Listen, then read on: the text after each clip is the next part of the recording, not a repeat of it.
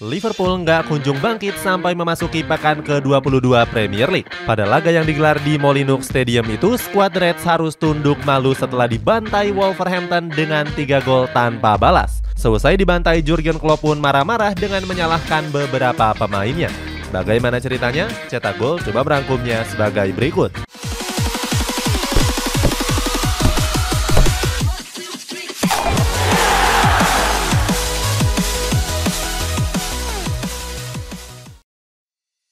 Mendatangkan Cody Gakpo dengan harga mahal. Pada bursa transfer musim dingin kemarin, Liverpool mendatangkan Cody Gakpo dari PSV Eindhoven. Bomber asal Belanda itu didatangkan dengan mahar 42 juta euro atau 675 miliar rupiah. Bersama Atletico Madrid KW, Gakpo tampil memukau dengan mencetak 50 gol dari 159 pertandingan. Catatan impresif itulah yang membuat Jurgen Klopp kepincut merekrut sang pemain. Jurgen Klopp bahkan merasa bersyukur dengan kehadiran Gakpo di lini penyerangan. Pasalnya, skuad Bangau bersayap memang sedang kekurangan penyerang menyusul banyaknya pemain yang cedera. Mulai dari Diogo Jota sampai dengan Luis Diaz yang sampai saat ini masih harus menjalani perawatan. Sayangnya, debut Gakpo bersama Liverpool nggak seindah ekspektasi yang dibayangkan. Pemain berusia 23 tahun ini gagal memberikan kontribusi apa pun di laga debut menghadapi Brighton. Saat itu Gakpo beberapa kali membuang peluang yang gagal dikonversikan menjadi gol. Akibatnya skuad The Reds pun harus menanggung malu saat dipermalukan dengan tiga gol tanpa balas. Penampilan buruk dari Gakpo ini bisa dibuktikan dari tiga pertandingan yang telah dilakoni. Tercatat dia belum bisa mengemas satupun gol saat berhadapan dengan Chelsea dan juga Wolverhampton. Namun Jurgen Klopp justru membela dan masih cukup yakin dengan kemampuan sang bomber optimisme Jurgen Klopp. Sayangnya setelah dibantai oleh Brighton, Liverpool kembali gagal menang setelah ditahan imbang Chelsea 0-0. Setelah hasil imbang itu, Klopp masih menaruhkan harapan yang besar. Pelatih bertopi ini optimis kalau pasukannya masih bisa finish di empat besar klasemen. Dia menyebut kalau skuadnya saat ini sudah mengalami kemajuan di laga-laga sebelumnya. Walaupun begitu, Jurgen Klopp meminta para pemain untuk bisa meningkatkan performanya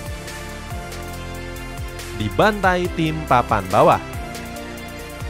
Akan tetapi omongan Jurgen Klopp itu gagal dia buktikan pada laga dini hari tadi. Sebab di laga itu skuad Malika Merah dibantai Wolverhampton dengan 3 gol tanpa balas. Pada laga itu bubuhan Serigala Hitam berhasil unggul lewat gol bunuh diri dari Joel Mati. 7 menit berselang disusul oleh gol dari Craig Dawson dan Ruben Neves di menit ke-71. Padahal sebelum ini Wolverhampton masih berada di papan bawah klasemen Liga Inggris. Namun sejak diasuh oleh Julian Lopetegui, skuad The Wanderers perlahan-lahan mulai bangkit. Di sisi lain, Jurgen Klopp marah-marah dengan kekalahan yang diderita oleh anak asuhnya. Pelatih asal Jerman itu bahkan menyalahkan para pemainnya yang dianggap tampil buruk. Termasuk Mohamed Salah dan Darwin Nunes yang dikecam oleh Jurgen Klopp. Salah satunya ada Darwin Nunes yang gagal mencetak gol di depan gawang.